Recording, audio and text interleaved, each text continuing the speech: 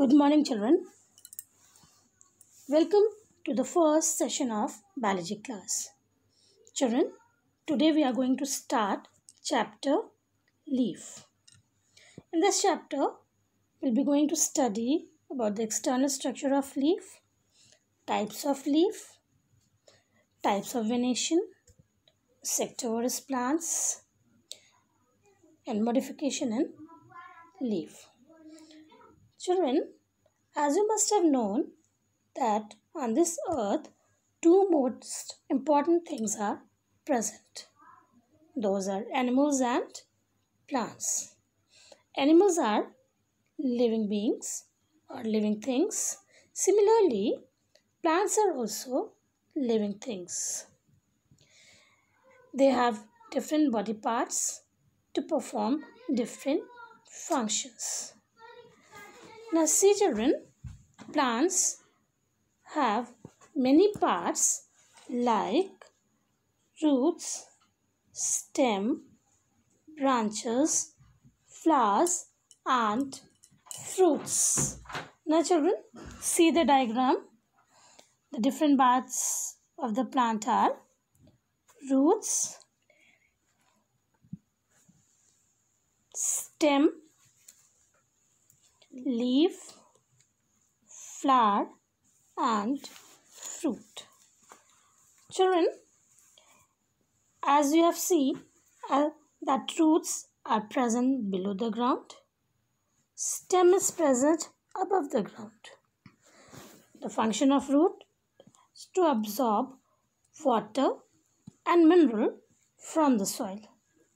And the function of stem is to make the plant stand erect on the ground and it also helps the transportation and translocation of the food and water. The third part of the plant is the leaf.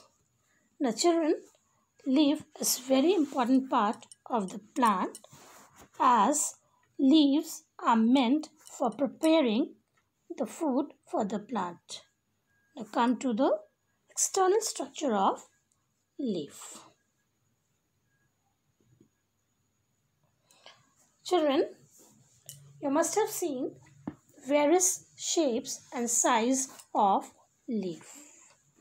So basically all the leaf they have a common structure. They are thin, broad and green in color. They have the stem which makes the leaf attached to the main stem of the plant. So, a leaf consists of two main parts, the lamina and the petiole. Children, see the diagram. This green broad part of the leaf is known as lamina or you can say leaf blade. Now this thin structure which makes this leaf attached with the main stem is the petiole. Now this petiole also helps in translocation. Now next is midrib. Children, midrib is the central line present in the leaf. It divides the leaf into two halves. Now from this midrib arises many branches. Now these branches they are known as veins. Now these veins they form a network in the leaf and it also makes the framework of the leaf. The other function of these branches or midrib is that they contain the vascular tissues, xylem and phloem. xylem and phloem you will study in future.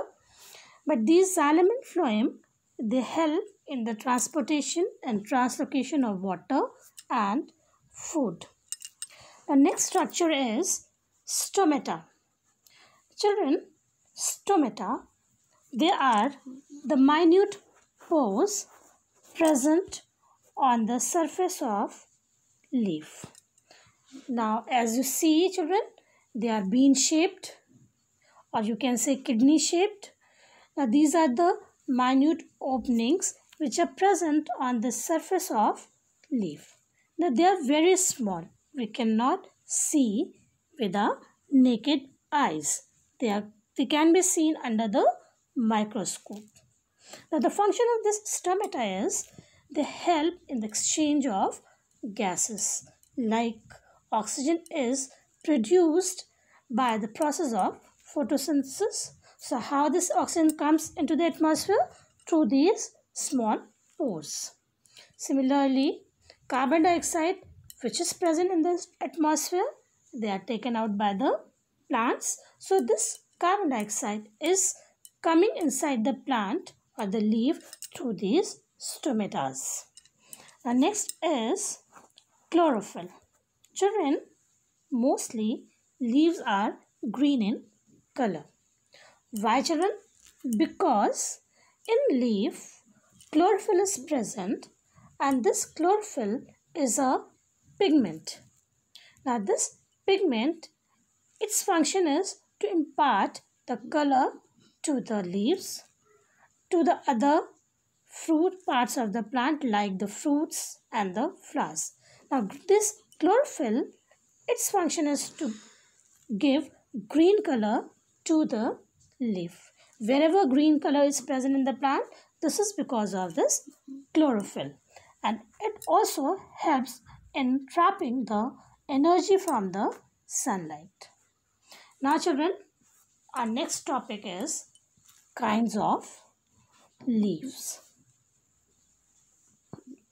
Children, leaves may be of two types, simple or compound. Now, simple leaf is, it has only one single blade without any cuts or incisions.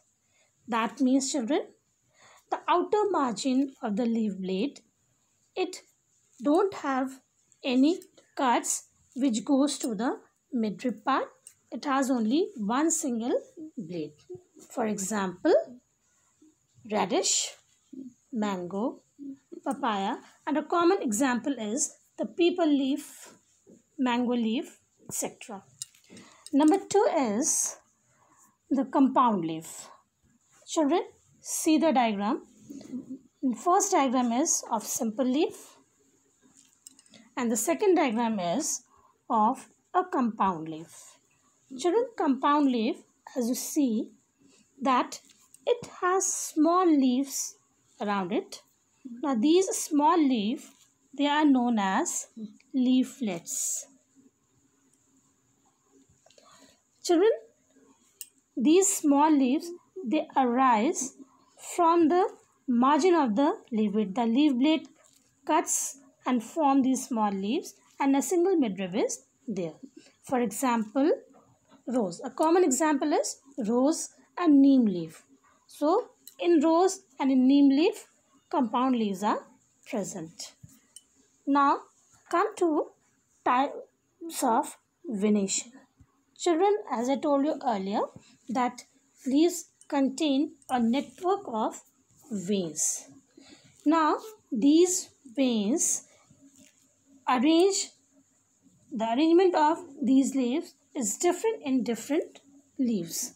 Now the arrangement of veins in the lamina or the leaf blade is known as venation. So the definition of venation is the arrangement of veins in the lamina is called or is known as venation. So there are two main types of venation, reticulate and parallel. Now, in reticulate venation, the veins in the leaf forms a network. They are irregular network of veins forming a net-like design. You must have seen the net, children. And in net they are irregular in shape. Similarly, here also they form a network like structure and this type of venation is known as reticulate venation. Number two is parallel venation. In parallel venation children, the veins in a leaf they run parallel to each other from the side of the midrib like you must have seen banana leaf or bamboo leaf. So in bamboo and banana leaf this parallel venation is there. See children see the diagram 1.5 in 1.5 reticulate venation is there. See children this is a network of veins. Now they are forming irregular branches so this is reticulate venation and number two is the parallel venation. So these veins they are running parallel to each mm-hmm. other. That means they are running side by side but they never meet with each other. So that is all for today children. Now let's take a quick recap that today we have studied the external structure of leaf and we have studied about the types of leaf that there are two types of leaf simple and compound leaf. And we have already learned about the venation children. Now venation means the arrangement of veins in the leaf. So children today's homework is collect all the leaves children whatever leaves are present in your surroundings collect all the leaves and paste it in your copy children and categorize it. Whether it is a simple leaf or a compound leaf find out reticulate venation parallel venation and the shapes of leaf. Okay children this is your homework for today. Then we'll proceed in the next class. Okay children Thank you.